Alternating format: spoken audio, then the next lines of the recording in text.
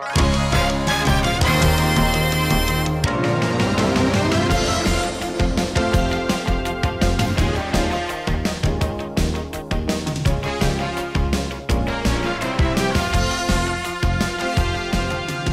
Hi, everybody. I'm Dick Vitale. Hey, I'm so proud to introduce you to Mr. Bill Rasmussen, the founder, the creator of ESPN. I thank him every day. It's given me one heck of a living and a heck of a life. I say thank you, Bill. Bill to me is a guy with great passion, a great feel for what he does. He's a PTPer, baby, a primetime performer. He's like the 3S man, super, scintillating, sensational. He's awesome, baby, with a capital A. Yes, Bill Rasmussen, a flat out winner in the game of life. I called the gentleman that was going to do the interview and I said, You know, Ed, you probably don't want to talk to me about the Whalers for the show this week because they just fired me. And he said, I don't have anybody else to talk to. How's that for being low on the list? Hi, I'm Chris Berman. If you're under, say, 35 years of age, you're saying, What do you mean? We don't get 300 stations. Well, in the 70s, ancient history, what was cable TV? One man, visionary, 24 hours of sports on TV. He was told it'll never work. Just like a few years before that, man will never walk on the moon. Wrong and wrong. Bill Rasmussen was right. ESPN is an idea that'll work. Boy, has it ever. 30 plus years later, we're everywhere. So we called him the next morning and said, We'll take one of those things. Because we didn't know they called them transponders. He said, One of what things? One of those 24 hour things. He said, You will? He was as surprised as we were. Only Bill Rasmussen can take you back, back, back, back, back to the beginning of the greatest success story in the history of sports television.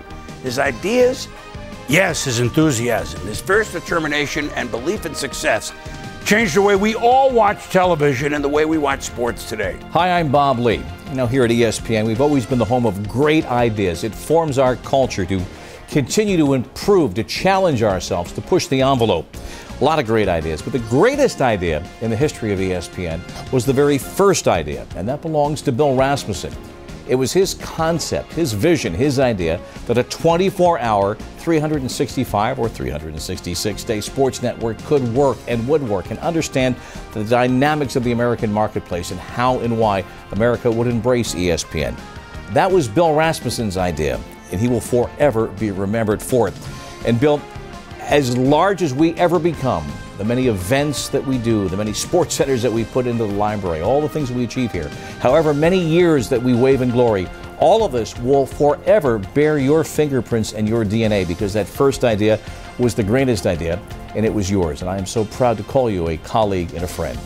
In hindsight, today looking back, when you think about ESPN, what do you think of? 24 hour sports.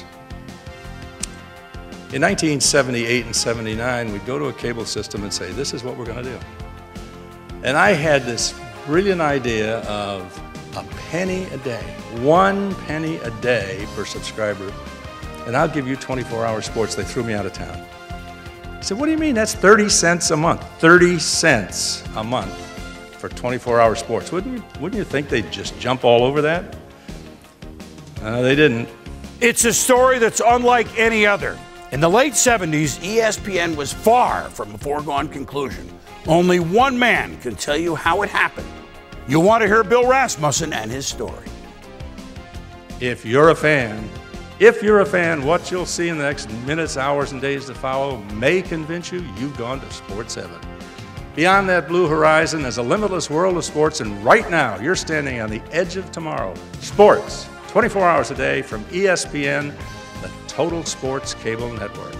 What a rash statement to make for a few guys in Bristol, Connecticut. But did it work? I think it did. Thank you very much.